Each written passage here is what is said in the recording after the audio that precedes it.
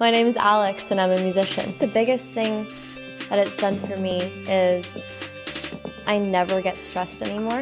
I'm able to just like confront things and be able to look at them and not have any weird stress involved. So like if I'm performing on stage, um, I don't have these insecurities that I used to have. I feel like I'm able to just be myself.